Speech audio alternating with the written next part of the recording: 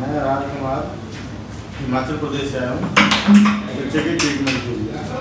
और जो करीब आज से पंद्रह साल पहले से सुन नहीं पा रही है।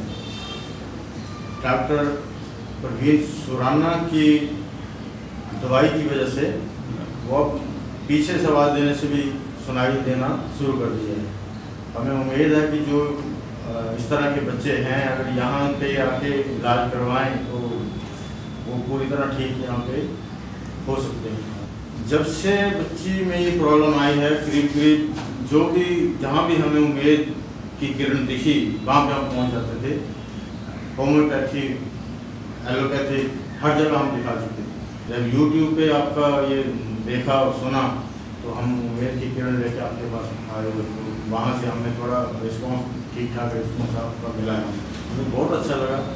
जो सोच के आए थे, वो इसी बात पे हम मिली है।